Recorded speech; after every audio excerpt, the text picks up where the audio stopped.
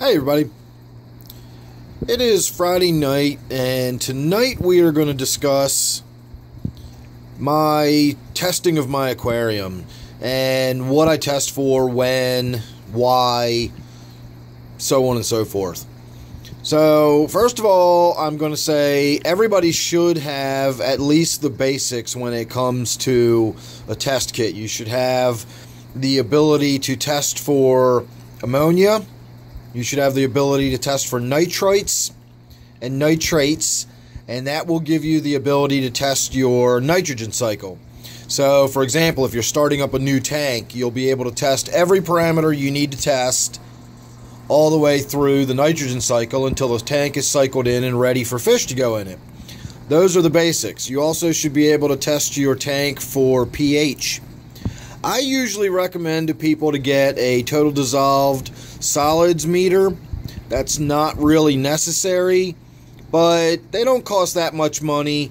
Um, I don't know. I'll put a link to one of the ones I've bought over the years. I don't remember which one I specifically have, but I'll put a link down below to a couple of the different tests and test kits and stuff that I've gotten that I've used. Uh, I have tests for all sorts of things. I've got the total dissolved solid meter, I've got pH meters. Um, I can test for silicates, I can test for phosphates. I've got an electrical conductivity meter, so I can actually test the electrical conductivity of the water, and so on and so forth.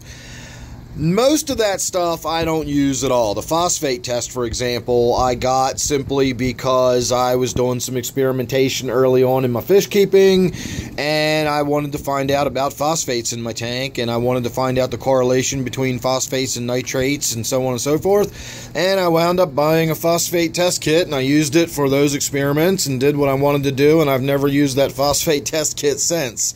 But I can test for phosphates if I need to. Uh, I've also tested for silicates. Again, just curious. Wanted to learn about my tanks, wanted to learn about silicates in my tanks. I was struggling with the brown diatom algae. I wanted to find out if I had unusually high levels of silicates in my tank. Uh, it's typically people with um, reef tanks or marine tanks that worry about getting silicate tests, but I did, and I tested my water and my groundwater and my tap water and so on and so forth, and I did all that stuff, and I've never used that silicate test since.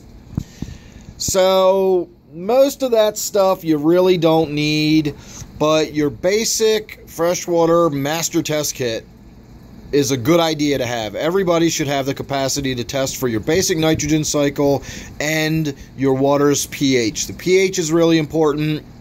And then, of course, again, being able to test for ammonia, nitrite, and nitrate is really important as well. So, I don't test all the time for everything. Every time I do a water change, I'm not in here testing for ammonia.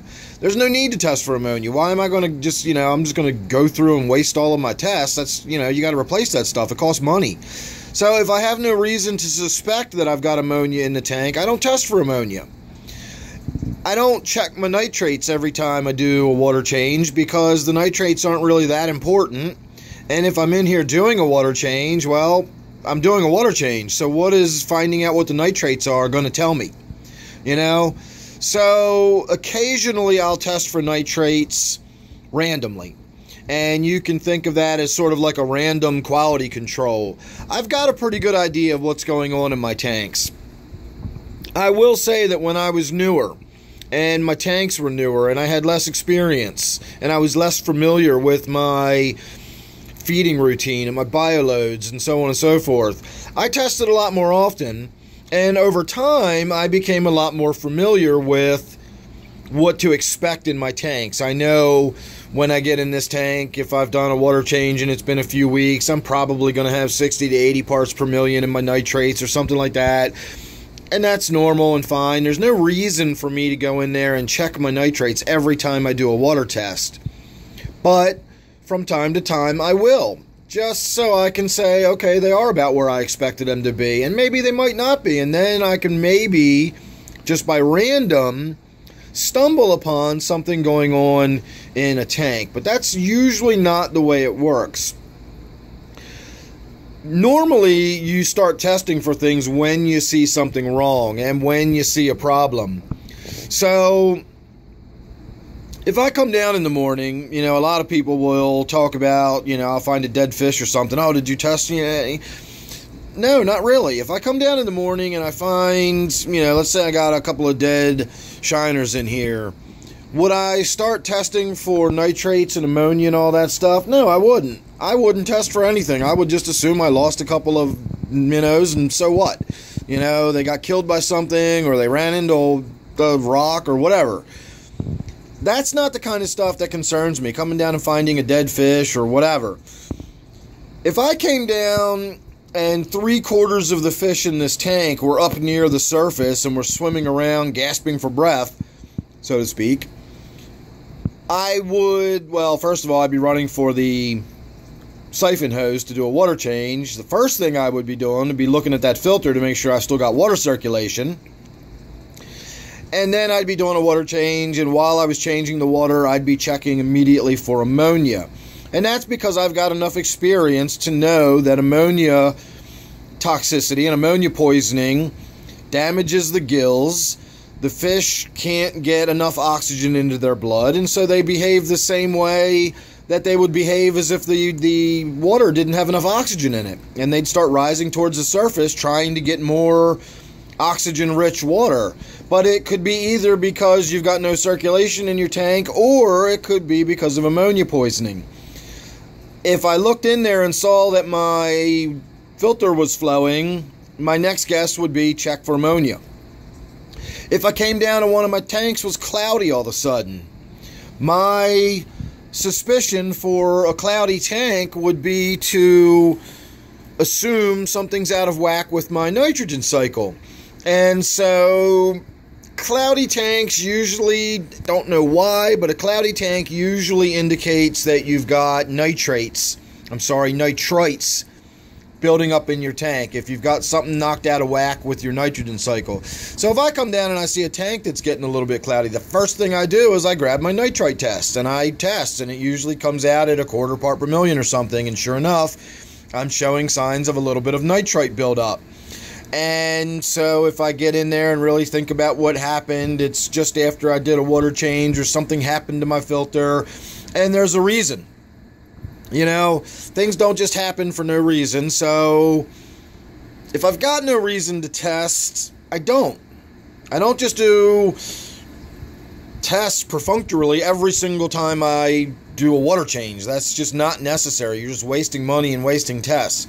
I will occasionally do random tests of my nitrates just to test my nitrates occasionally, just to see where my tanks are sitting and just to see what's going on. Otherwise, unless I've got reason to think something's going wrong, I don't do a whole lot of testing. Now, I will throw in in my case, because of the nature of my YouTube channel here and the videos I shoot and demonstrations I do and little experiments I'm tinkering with, I tend to do water testing a little more frequently than is necessary.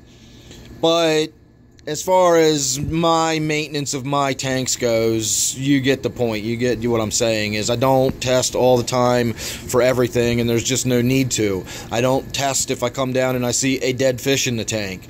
You know, if I came down in the morning and there was four or five dead fish in the tank, I'd start testing for ammonia and nitrites just to see what's going on. But in all honesty, there's a lot of things that can happen in your tank that can wipe out all your fish that have nothing to do with what your basic water testing is going to do. If you come down and you got a bunch of dead fish in your tank and it's because of oxygen deprivation, you can test the water all you want and it's going to show no nitrites or no you know ammonia or whatever and you're going to have a bunch of dead fish so what is that water testing going to tell you um you know, I've always been kind of puzzled. I've always scratched my head as why people seem to insist immediately going to test your water when you see a dead fish or something. That's not the kind of thing that causes you to test your water. The, the, the water tests that come with the freshwater master test kit all more or less revolve around your nitrogen cycle. So if you're not having the kind of issue in your tank that is associated with your nitrogen cycle, i.e., cloudy water, then there, you know, testing for ammonia doesn't really tell you a lot, you know. So, you know, I don't really know what to tell you other than if you're cycling a tank in, then having the tests are very important to know when the, the tank is ready. You can follow along and make sure everything's moving as it should. And of course, it's important to have a test kit available so if anything does come up, you've got the capacity to test your water and see what's going on and find out if anything is wrong. But do you need to test your water all the time to make sure nothing's going wrong in your tank? No, not at all. And I don't. I was thinking about testing Butterbean's water here today. I haven't actually done a water change on this tank um, since about a week after I put him in the tank. I put him in, I got him all settled up, and then I did a water change, and I haven't done a water change since. So him and these guppies are the only fish that are in this tank, and it's a 40 gallon tank. I've got plants in there. I don't do a ton of feeding on this tank.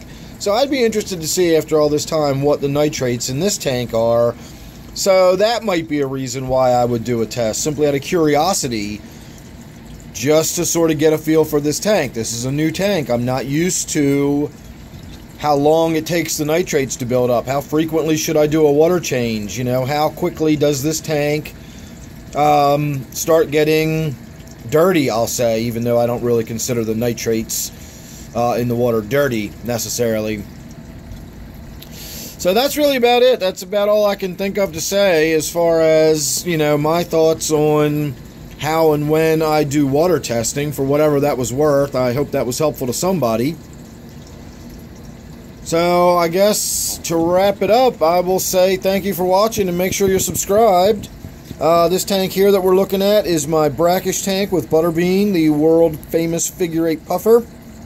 So thanks again. Hope you enjoyed, and I will see you real soon on the next one.